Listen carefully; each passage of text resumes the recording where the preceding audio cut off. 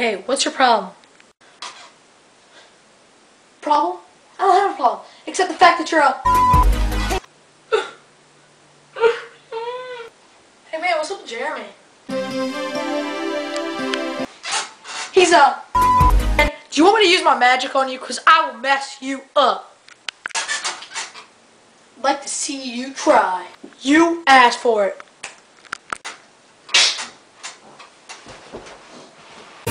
Yeah.